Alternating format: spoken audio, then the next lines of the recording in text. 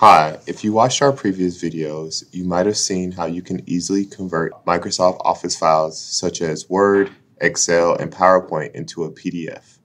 Today I'll be showing you how you can easily convert a PDF file into a Microsoft Word document. So we have our current press release for PDF Studio 2022 here. Just going to scroll through. As you can see, it has text, um, also images, and to convert a file like this, what you simply want to do is go to the Convert tab here, go to the Convert to section, and select the Microsoft Word icon. And it's going to open a folder where you want to save the file to. So as you can see, I have my Word doc folder here. I'm going to save the file to this folder. I'm going to select Save. All right, now I'm going to go to my desktop.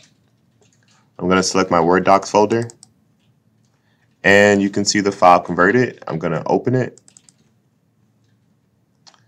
All right, as you can see, the content from the PDF file converted to Microsoft Word.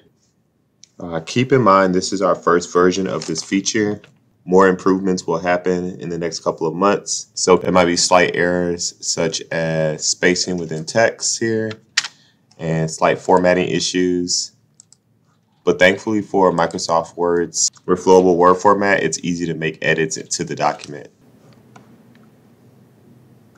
Uh, such as grammatical errors as well.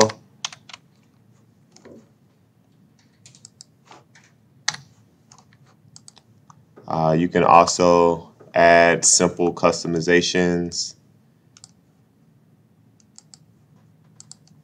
Also, it's very easy to add text.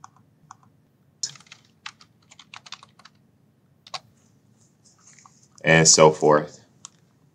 So there you have it, just showing you a few reasons why it may be easier to edit documents in Microsoft Word.